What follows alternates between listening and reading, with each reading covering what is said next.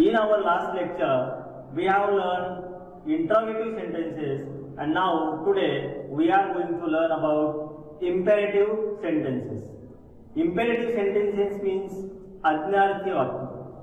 An imperative sentence is a sentence that express a direct command, request, invitation, warning or instruction. Student, one more thing you have to remember permanently that is imperative sentences do not have a subject. Instead, a directive is given and implied second person.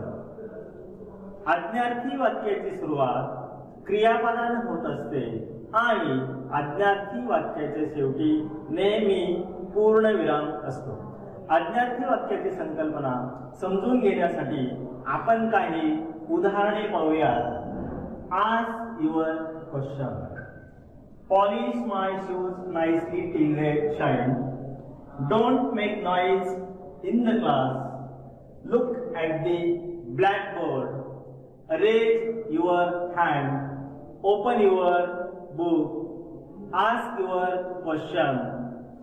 In this way, there are so many examples of imperative sentences. Here, every sentence is begin with verbs and there is full stop at the end of every sentence. Now, we are going to learn the next topic that is exclamatory sentences or udgarvachak vakya. Do you know exclamatory sentences means what?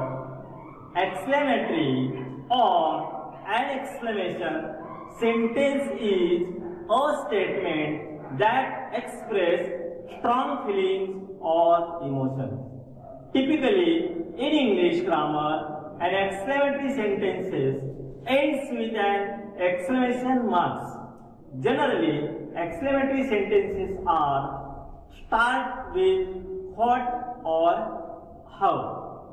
विद्यार्थी मित्रांनो उद्गारवाचक वाक्याची सुरुवात सर्वसाधारणपणे hot किंवा हवले होत असते आणि उद्गारवाचक वाक्याच्या शेवटी नेहमी उद्गारवाचक चिन्ह असतं.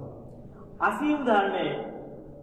उद्गारवाचक वाक्याची काही उदाहरणे आपण पाहूयात. पहिलं उदाहरण आहे how beautiful the rain is how easy that is, what an ungrateful creature I am, what a great poet he was, impossible, hooray, we won the match. In this way, we have seen some examples of exclamatory sentences. After seeing this example, we learn that the sentences are started with begin with the word how or what and there is exclamation marks at the end of the sentence.